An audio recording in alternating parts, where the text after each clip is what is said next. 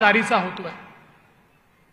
खरं म्हणजे शासन आपल्या दारीची संकल्पनाच ही आहे की मिशन मोडवर काम करायचं.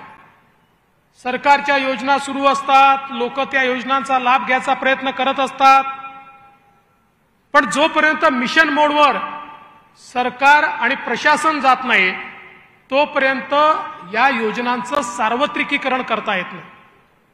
आणि म्हणून ज्याच्याकरता योजना तयार केली आहे त्याच्यापर्यंत सरकारने पोचायचं आणि सांगायचं बाबा रे ही योजना तुझ्याकरता तयार केली आहे तू लाभार्थी आहेस आणि तुझ्याकरता आम्ही योजना घेऊन आलो आहे.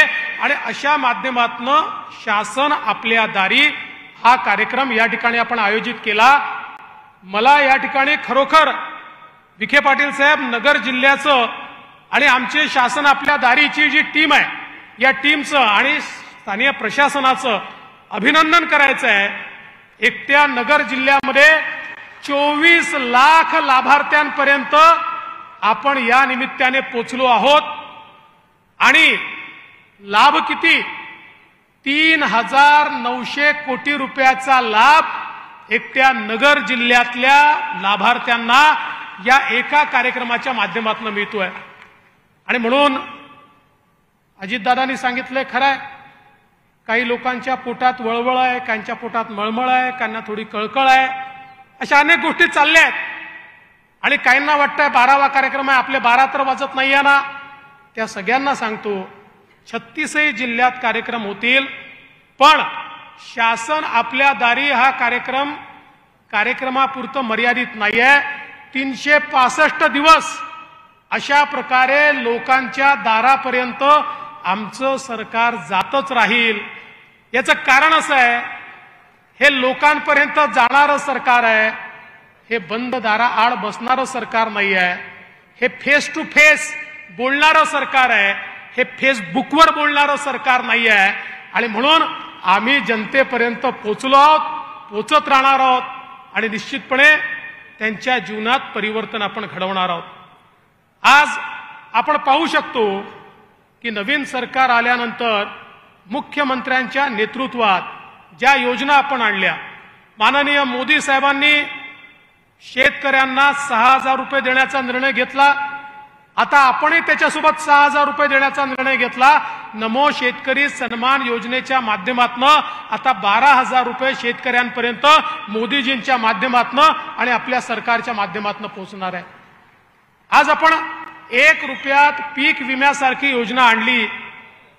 आणि दोन लाखावरनं एकाच वर्षामध्ये नगर जिल्ह्यामध्ये बारा लाख पर्यंत शेतकऱ्यांनी विमा उतरवला. आज दुर्दैवाने दुष्काळाची परिस्थिती पाहायला मिळते. ईश्वराला प्रार्थना आहे. साईबाबांना प्रार्थना आहे. पुढच्या आठवड्या पंधरा दिवसात पाऊस आला तर दुष्काळ टाळता येईल.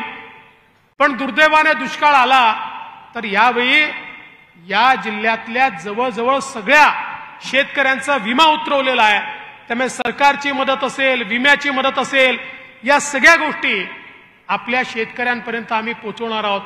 आणि निश्चितपणे शेतकऱ्यांना आजच सांगू इच्छितो दुर्दैवाने कुठे दुबार पेरणी आली दुर्दैवाने कुठे जर त्या ठिकाणी क्रॉप फेल्युअर झालं सरकार तुम्हाला वाऱ्यावर सोडणार नाही. पूर्ण ताकदीने सरकार तुमच्या पाठीशी उभं राहील. हे देखील या निमित्ताने माननीय मुख्यमंत्र्यांच्या माध्यमातून मी सांगू इच्छितो. आज आपण पाहतोय या ठिकाणी वेगवेगळ्या योजना आपण आणल्या. त्याच्यामध्ये आपल्या शेतकऱ्याला दिवसा बारा तास वीज मिळाली पाहिजे तीनशे पासष्ट दिवस मिळाली पाहिजे. म्हणून मुख्यमंत्री सौर ऊर्जा हा कार्यक्रम आपण हातामध्ये घेतलेला आहे. आणि मी पुन्हा नगर जिल्ह्याचं अभिनंदन करेन की याच्याही या कार्यक्रमामध्ये नगर जिल्ह्याने आघाडी घेतली आहे. आणि मला असं वाटतं की पहिला जिल्हा जो पूर्णपणे सोलर जिल्हा होईल तो कदाचित नगर जिल्हा होईल अशा प्रकारे नगरने काम केलं आहे आणि त्यामुळे येत्या काळामध्ये आता नगर जिल्ह्यातले मेजर टेंडर्स तर आम्ही आताच काढतो. आणि येत्या काळामध्ये नगर जिल्ह्यातल्या शेतकऱ्यांना एकदा हे काम पूर्ण झालं की दिवसा बारा तास म्हणजे रात्री आहेच आपल्याकडे वीज. रात्रीच्या विजेचा प्रॉब्लेम नाही चोवीस तास पाहिजे तर चोवीस तास देऊन देऊ. पण दिवसा बारा